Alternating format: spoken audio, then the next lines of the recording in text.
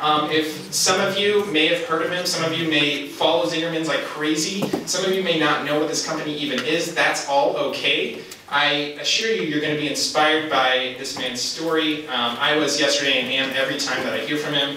Uh, and he's really going to tell you how he didn't just build a company that now has over 700 employees. He built a company that was focused on giving back to the community, a company that was focused on empowering its employees, and a company that was focused on creating a better community in the communities that they worked with. So without further ado, I'd like to introduce the Mr. Paul Saginaw.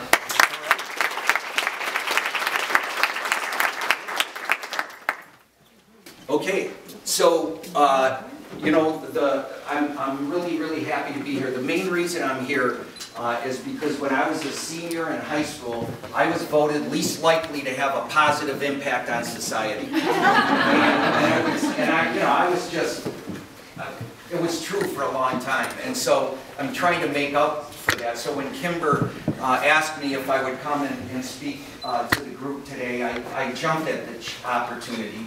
Uh, I, I, really, really like to do this and, uh, you know, kind of override that reputation that I had in high school. So, anyway, uh, what I'd like to do is I'd like to, to tell you a little bit about, about Zingerman's, uh, a little bit about the history, and, and talk about a, a few things that I think uh, have been key in, in driving us towards success. I'd like to talk to you about visioning and, uh, and about uh, having a, uh, a, a, clear vision of success for your organization, uh, the importance of guiding principles, and uh, talk to you a bit about uh, working in an open book uh, environment and managing in an open book environment. And that's what I'd like to do. So, but to begin with, again, I'd like to ask you to do something. I want to have a pop quiz. So this time I would, I'd like to ask all of you to close your eyes and with an outstretched arm, point in the direction that you believe is north.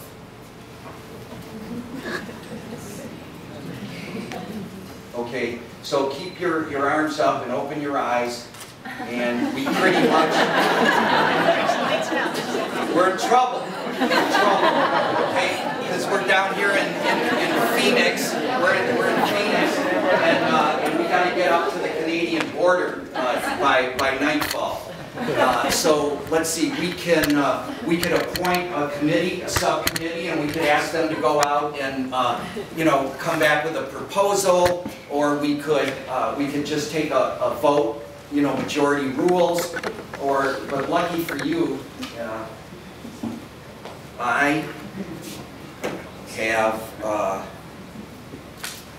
the iPhone has a compass, right? And it's saying that saying that magnetic north is that direction. Uh, who was pointing in a different direction? Anybody want to argue with this? I mean, you, you were holding your arm up there pretty firmly, right? You, you're not going to, right? Because it's a, it's a natural law. And we pay attention to natural laws. Otherwise, we get in really, really big trouble.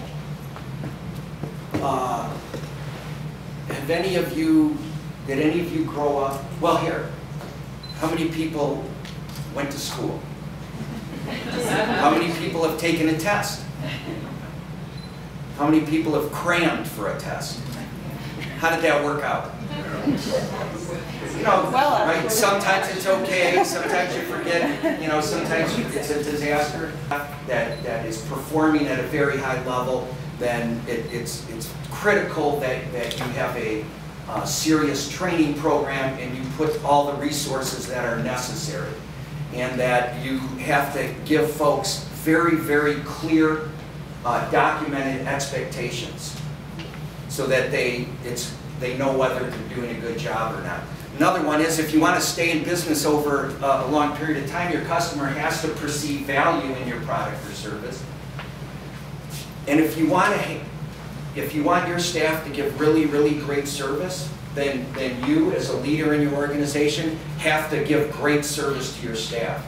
You, you have no right to ever expect that, that the people that work for you are going to uh, provide a, a service level uh, to your customers that's higher than you're providing to your staff.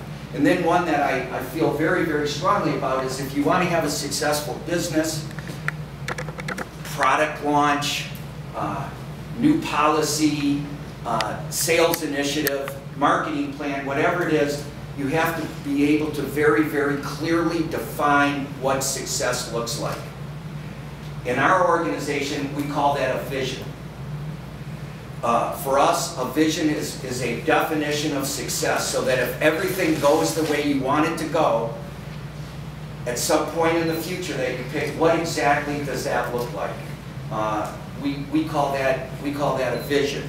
And we believe that there is no more powerful engine driving an organization toward long-term success than a, a, an attractive, inspiring, strategically sound, inclusive, hopeful vision of the future. Calling out to everybody saying, this is where we're going and it's going to be great and you, you have a role in it. Uh, I didn't see that. So that's a, uh, that's where we start. I'm going to talk to you now uh, a little bit about our history and then I'm going to get back to vision. So, so keep vision in mind. Anyway, uh, so back in Ann Arbor, Michigan.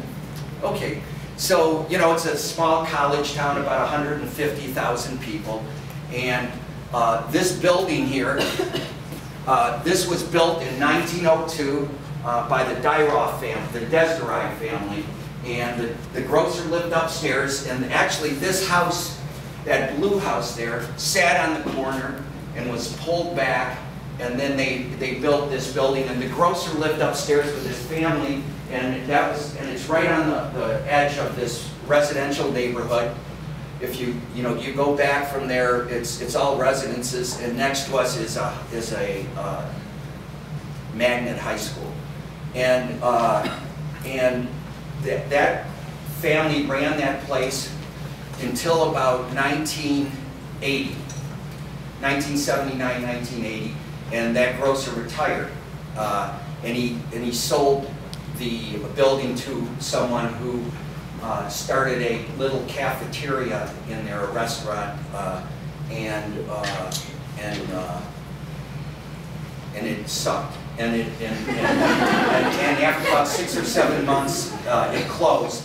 And and then when we when I knew that it was available, that's where we were going to open this deli. So my partner uh, to be Ari Weinzweig and I, we met in Ann Arbor in the late 70s working in a restaurant together. Uh, I, I, had come down there from another uh, restaurant uh, to be a, the general manager, and this was the second restaurant in what would become this uh, local chain of restaurants. Unique. And for us, by definition, that meant there's going to only be one of us and that if we were ever going to grow or expand, we would never do it by replication. And really, it wasn't, at that time, it wasn't an ideology for us. Uh, it just, it was, one, we had never seen something that was really, really good and expanded by replication and got better. It seemed to lose something. Have any of you ever been to the original Starbucks in uh, Pike Market? Oh, quite a few. So, you know, for me, when I go in there, there's still there's a sense of history, there's an energy level that's palpable. Uh, have any of you been to the uh, Starbucks on the Turnpike? Or in a grocery store? Or is it exciting? You know, is, is, is, is there a sense of history? Uh, you know, it's pretty terrible. So that, you know, we want, that's not what we wanted, right? So, uh, and then, so we said that we were going to be unique. And uh, we said that we were going to, uh, we, we wanted an organization where decisions were not going to be made based on who had the most authority, but rather who had a solution, who had an idea, who had information and data that was relevant to the issues at hand. We wanted to, we wanted to, to drive uh, decision making as deeply and as widely into the organization as we could and invite everybody to come in and help run the business. Uh, we had come out of an organization that was very command and control, very top down, and we felt that they were really missing the boat. And that the real knowledge was buried in the, in the folks, uh, the folks on the front line had ideas, had solutions, knew what was going on, but they buried that and didn't really bring it out because there wasn't a way for them to do it. And we wanted to do that. It took us a long time to learn how to do that, but it certainly was a driver from the beginning. And then we also said that we made the very strategic decision that we were going to gather this food, we were going to produce this food, we were going to deliver it to folks with an extremely high level of customer service. This was 1982 and nobody talked about customer service. Customer service at that time was merely transactional and it was only things that happened after a sale. You know, when the shoes were the wrong color or the dress didn't fit, that, that type of stuff. And if you went to the bookstore back then and you went to the business section and you wanted a book on customer service, you wouldn't find it. You would have to special order it, and it would most likely be an academic publication. You could go into the bookstore now, and there's dozens and dozens of volumes on customer service. One of them is better than the other ones. It's called Zingerman's Guide to Giving Great Service.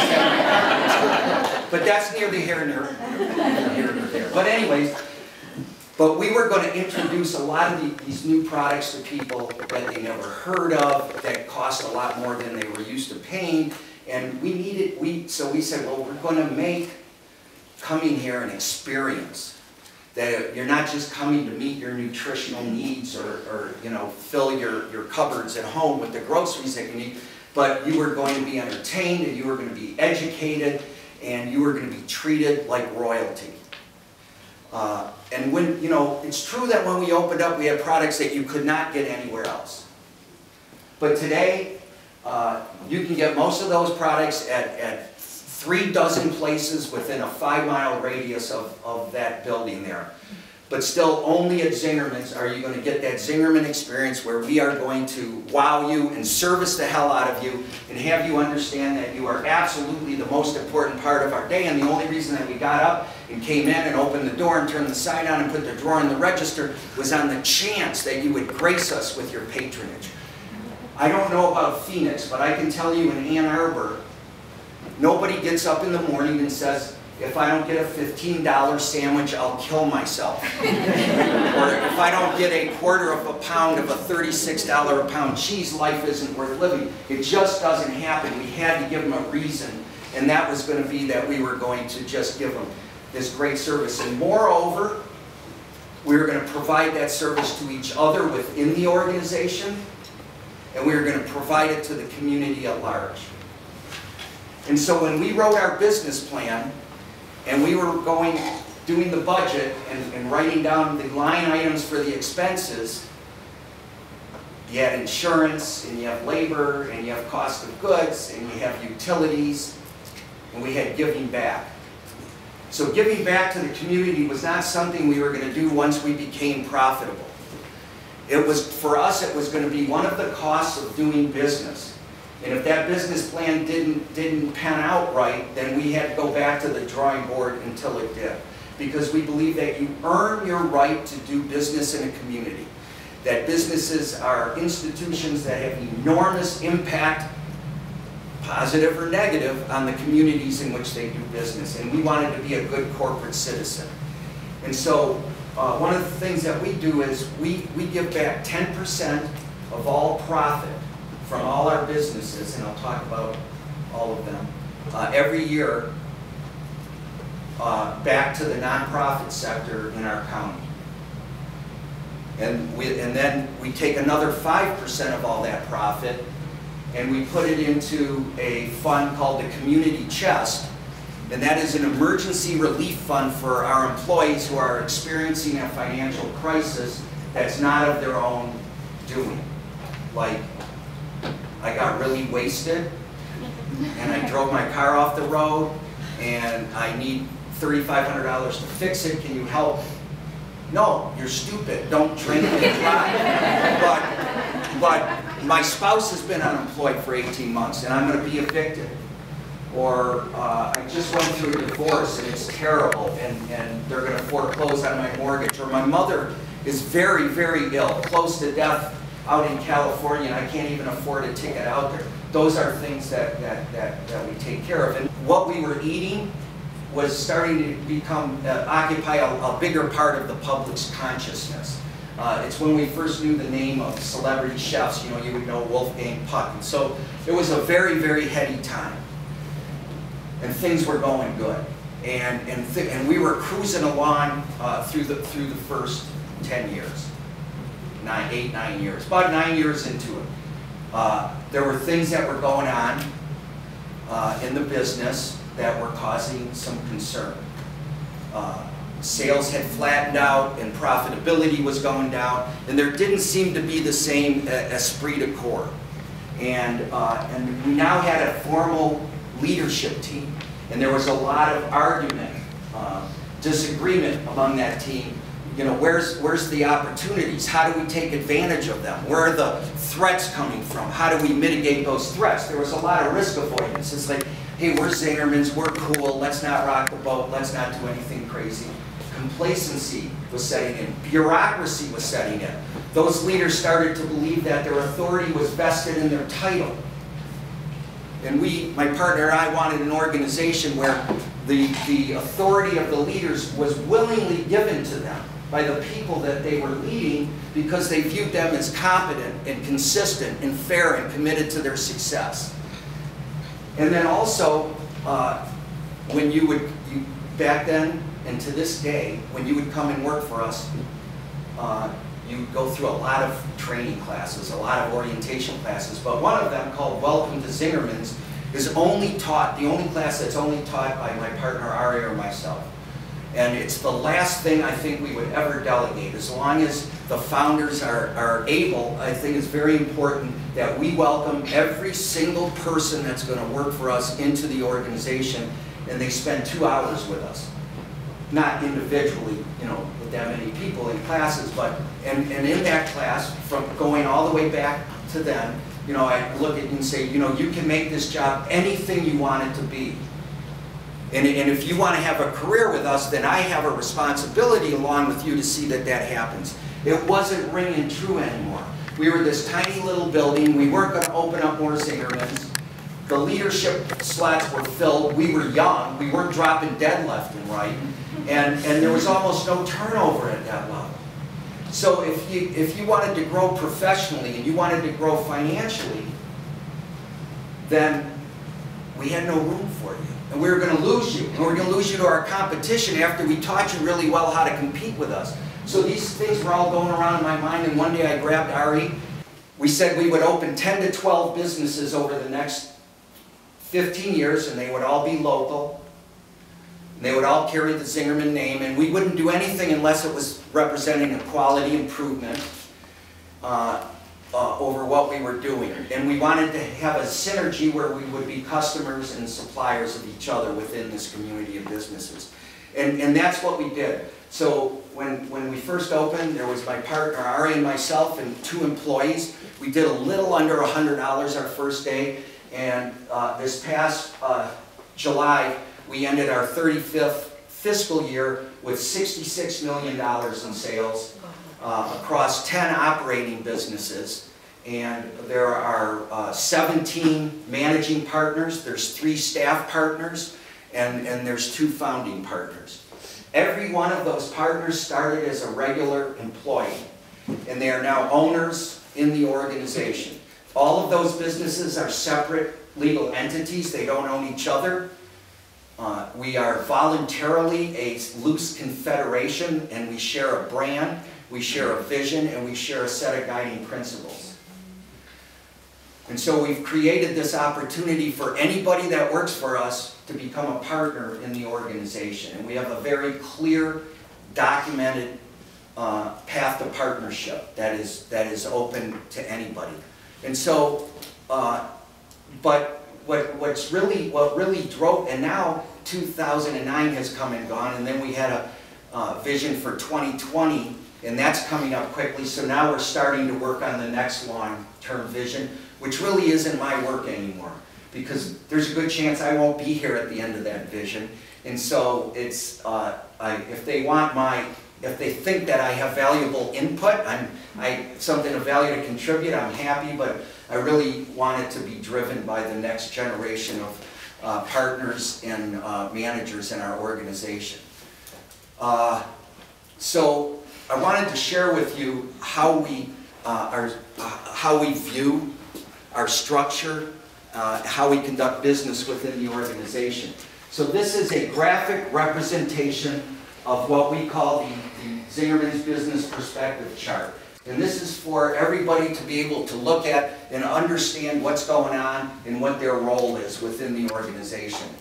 And so the, uh, the border all around it is, says the Zingerman Experience. That's our mission. Our mission is to provide the Zingerman Experience to as many people as we possibly can. Uh, and it's, it's uh, characterized by really great product and really great service, and that we're going to show love and care in all our actions. And, and we do that for as many people as we can to improve their lives. The, the, the mission is a really, really, really big goal that you know you're not going to quite accomplish. For us, it's the North Star. It provides essential direction for the organization and tells us what we're doing. I know that every day I go to work, my job is to provide the Zingerman experience for the people that work for me and for the customers that come. So it's a really big goal that we don't quite accomplish. Right underneath it, you see vision. Vision is another really big goal, but we believe that we're going to be successful in accomplishing it. It's measurable, it's achievable, it's, and, and, uh, and I'll get back to that. And then we, we know how we're doing when we're doing the work of the mission and we're trying to, uh, to meet these, these goals that are in the vision, we, we measure results. And me measuring results tell us if we're on track or not. You know, if we have to change, you know, tack left, tack right, as if we're sailing across the waters. We measure, we have three bottom lines uh, great food, great service, and great finance. We have, we have goals and measurements, metrics for each one of those. Uh, we're not successful unless we meet all of those. What helps us turn that vision into the results, the reality that we want, are our principles. Our principles are important in two specific areas. In one, they're going to define the levels of excellence that we're going to strive for so that everybody's efforts are going in the right direction. So if we say great food or great service, we have a system that allows us to get there. The systems are the tools that allow us to achieve the levels of excellence that we've defined are necessary for us to meet. The systems are how we say things are supposed to happen. Okay, they're the tools that allow us to achieve excellence.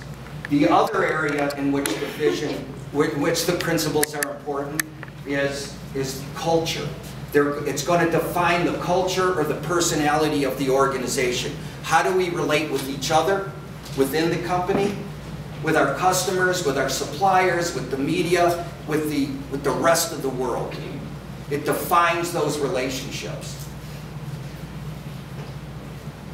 All of you are in organizations that have some principles, whether they're written or not, whether they're spoken or not.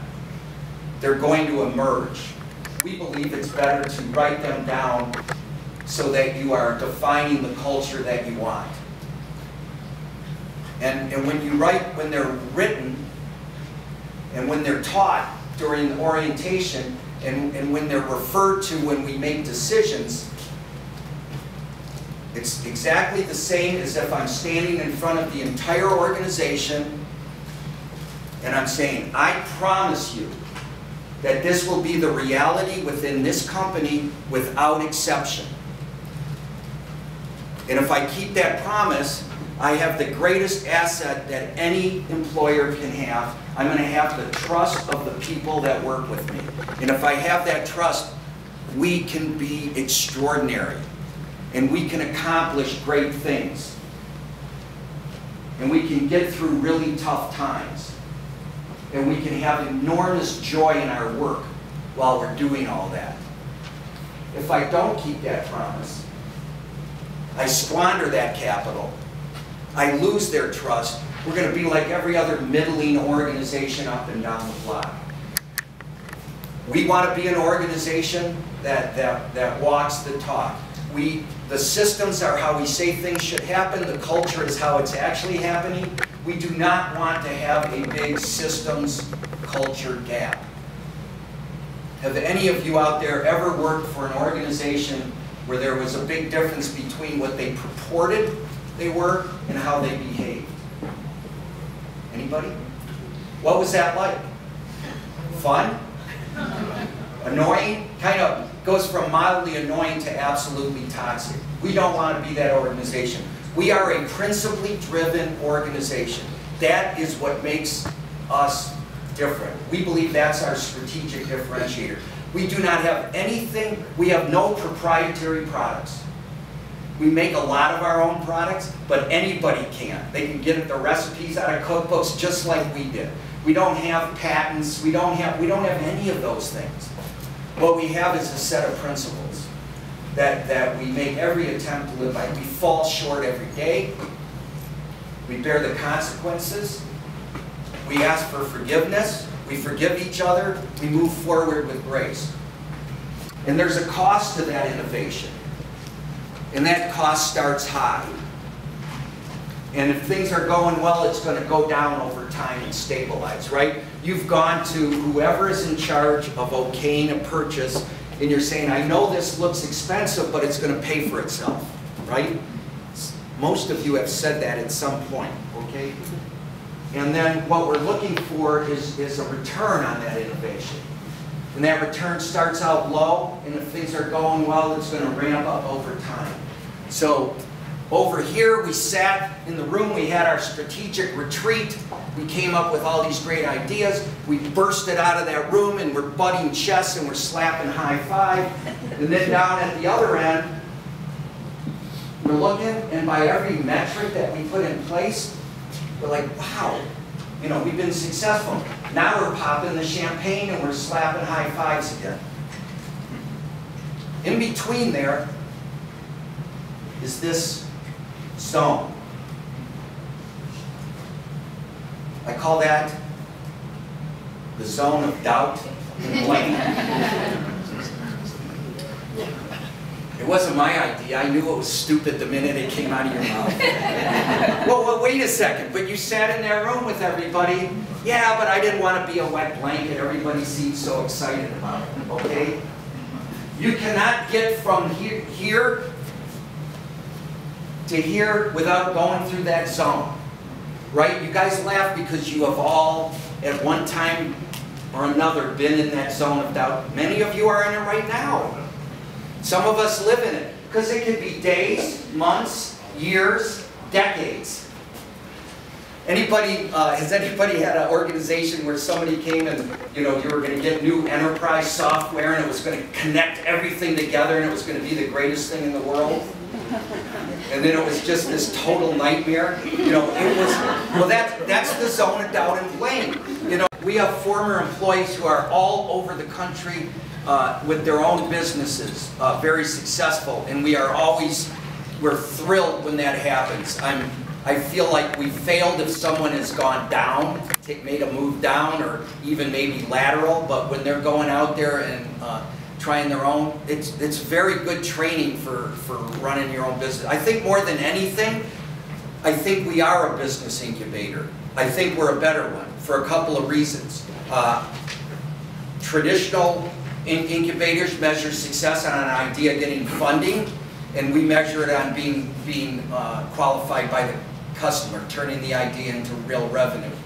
And, uh, and then also, we, I, you know, we have shared services. So we have a, one of the businesses, Zingerman Service Network, which is HR, uh, payroll, benefits administration, IT, marketing and graphics, donations, customer service, and uh, that's a shared service. And so startups uh, have a level of technical and administrative expertise that they desperately need but can ne- never afford, but they're subsidized by the ongoing businesses. So yeah, we do look at that, and we have folks all over the country, and the world, actually. More. When we first uh, came out with our guiding principles, and we were talking about roles, my role was like, not the principal police, but like the gatekeeper on the guiding principles. So I, you know, like, the, I'm the one in the organization that's poking folks, saying, you know, we're not diverse enough. We're not paying enough money, you know, let's, how are we gonna do that? So that's how that title came about, and then it kind of stuck. All right, thank you very much.